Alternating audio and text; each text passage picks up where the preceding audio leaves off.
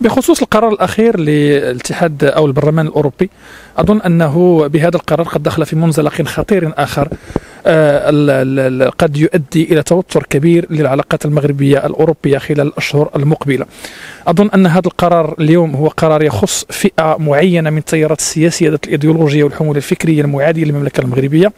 على اعتبار أن هذا القرار حين تم اتخاذه والمصادقه عليه في البرلمان الأوروبي فئة كبيرة من النواب الأوروبيين لم تكن حاضرة، فئة امتنعت عن التصويت وفئة عارضت هذا القرار، يجب أن لا ننسى هذا الأمر، ولكن الفئة التي كانت غالبة يوم التصويت هي الفئة التي لديها كما قلنا خلفيه إيديولوجية معادية للمملكة المغربية وأظن أنها اليوم هي توظف هذه العلاقة أو هذه الورقة من أجل العبث بالعلاقات المغربية الأوروبية التي دخلت في مرحلة من التحالف الاستراتيجي خاصة بعد أن كانت هناك مواقف إيجابية من ألمانيا إزاء الوحدة الترابية للمملكة المغربية بعد الاعتراف التاريخي للمملكة الإسبانية بعدالة القضية قضية الوحدة الترابية المغربية وبمغربيه الصحراء. ثم هذا التغير التدريجي في اتجاه في اتجاه إيجابي بين العلاقات المغربية الفرنسية.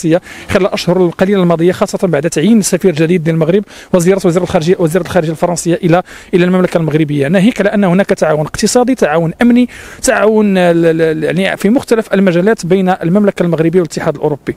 أظن أن اليوم هؤلاء الذين صادقوا على القرار والذين صاغوا هذا هم يدفعون باتجاه أزمة جديدة. المغرب بلد مستقل المغرب لديه آه، سلطة في اتخاذ مختلف قراراته. هناك فصل بين السلطات وهناك سيادة لسلطة القضاء وبالتالي هذا العبث وهذا القرار العبثي اليوم لا يعدو. أنا أضم صوتي أيضا إلى صوت مجموعة من النواب المغاربة والقضاة المغاربة والمغاربة والمواطنين المغاربة الذين لا يرون في هذا القرار إلا أنه مجرد زوبعة. ستكون أو يكون مآلها ومصيرها الفشل كما كان آه، فشل مجموعة من محاولات القرارات المماثلة التي آه، استهدفت الاتفاقية الفلاحية استهدفت المجموعة من الاتفاقيات التي تربط الاتحاد الأوروبي بالمملكة المغربية ذات البعد الحقوقي والقضائي خلال السنوات الماضية. اذا أظن بأن هذه المرحلة سوف يتجاوزها الطرفان المؤسسات المؤسسات الأوروبية بطبيعة الحال والمملكة المغربية. وأظن أن المقبل في العلاقات المغربية الأوروبية هو إيجابي بالتأكيد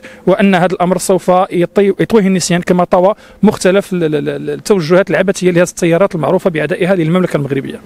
قبل ما تخرجوا ما تنسوش تابوناو في قناة اشكاين وتفعلوا الجرس باش يوصلكم الجديد في الحين. إذا عجبكم المحتوى بارتاجيوه مع أصدقائكم. ولمزيد من الأخبار تيليشارجوا تطبيق اشكاين من بلاي ستور وأب ستور